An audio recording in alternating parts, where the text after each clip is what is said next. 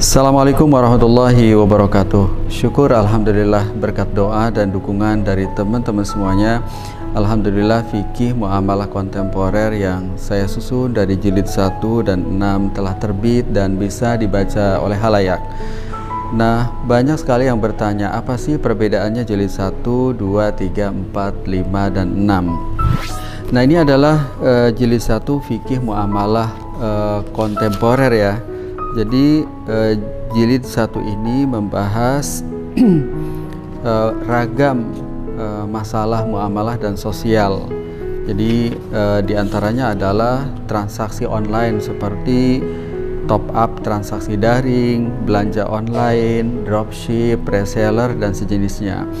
Di buku ini juga dibahas tentang muamalah kekinian ya, seperti amplop hajatan sebagai utang, fikih BPJS Kesehatan, bayar pajak, fikih biaya perjalanan dinas, ya bermitra dengan usaha konvensional. Di buku ini juga dibahas bagaimana adab-adab berutang, kriteria darurat, dan apakah bank syariah sudah sesuai syariah apa belum. Nah ini dia fikih muamalah kontemporer jilid 2 yang membahas permasalahan sosial dan ekonomi kekinian. Nah di antara permasalahan yang dibahas cukup banyak ya.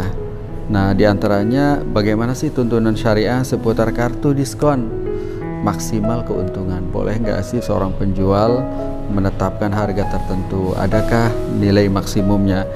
Ini bagaimana hukumnya cashback, diskon, free ongkir ya bagaimana ketentuan tentang uang muka dan booking fee, dan seperti apa yang dimaksud dengan multi akad atau kombinasi beberapa akad. Nah, sedangkan fikih muamalah jilid ketiga itu membahas, membedah banyak permasalahan ya. Ini di antaranya adalah bisnis sebagai youtuber, bagaimana tuntunan syariahnya, kemudian digital kurban melalui lembaga, termasuk pay letter, bagaimana ketentuan uh, syariahnya. Nah, juga dibahas tentang cicilan emas, beli emas lalu titik jual ya, termasuk juga reksadana syariah. Nah, masalah lain juga seperti kriteria jual beli ya, sell and leaseback. Nah, kemudian juga beberapa muamalah seperti berutang untuk umroh Ramadan, THR dan parcel ya. Ini dia fikih muamalah kontemporer jilid yang keempat. Nah, apa saja sih uh, bahasan yang dibedah dalam uh, jilid keempat ini? Di antaranya adalah seputar fikih muamalah milenial ya.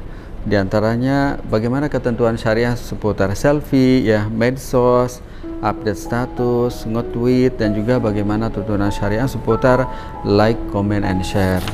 Nah, ada juga bab khusus tentang filantropi ya misalnya tentang zakat perdagangan, zakat profesi, zakat THR, bagaimana kita memaknai visabilillah, termasuk juga wakaf hak intelektual, wasiat dari, dari sepertiga.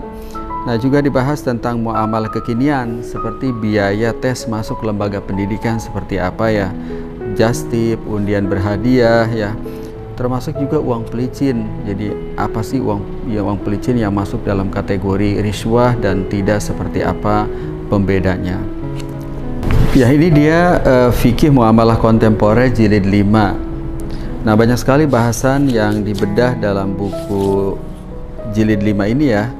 Nah, di antara masalah-masalah tersebut adalah fikih seputar pandemi. Jadi misalnya stok makanan karena virus corona ya kemudian adab belajar atau kuliah online termasuk juga WFH atau work from home.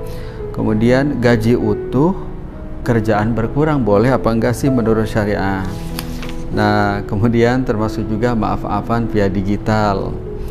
Nah ada juga bab khusus tentang akad dan kontrak membahas tentang jizab dan jual beli grosir ya. Gimana kalau investasinya merugi konsekuensinya seperti apa? Nah ini di antara bab zakat, wakaf, dan kurban ya dibahas tentang 2,5% itu dari modal atau pendapatan dalam zakat perdagangan ya. Terus gimana kalau orang ber, berzakat sebelum nyampe nyampe haul boleh nggak sih kewajiban zakat ditunaikan secara cicil, secara ngangsur ya? Nah, bagaimana berzakat dengan kartu kredit? Terus boleh nggak sih lembaga zakat atau personal berdonasi untuk korban banjir? Boleh nggak bayar fidyah pakai uang dan boleh nggak sih dan seperti apa tuntunannya wakaf dana non halal?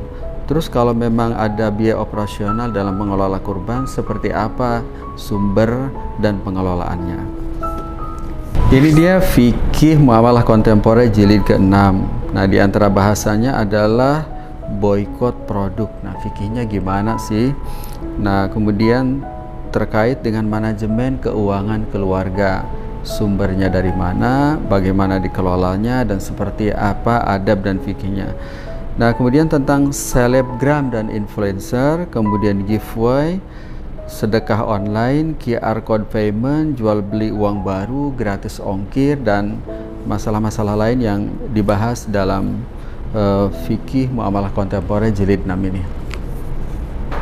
Ya, dari kekhasan materi yang dibahas setiap jilid dalam buku fikih muamalah kontemporer ini yang ternyata berbeda uh, dari satu jilid ke jilid yang lain. Nah, oleh karena itu jika teman-teman ingin uh, mengetahui membahas masalah secara utuh runut ya uh, maka memiliki buku ini dengan lengkap dari jilid 1 dan jilid 6 mungkin akan membekali uh, seluruh masalah-masalah yang dibahas dari buku ini. Karena setiap buku setiap jilid itu beda pembahasan. Nah mudah-mudahan bermanfaat ya. Assalamualaikum warahmatullahi wabarakatuh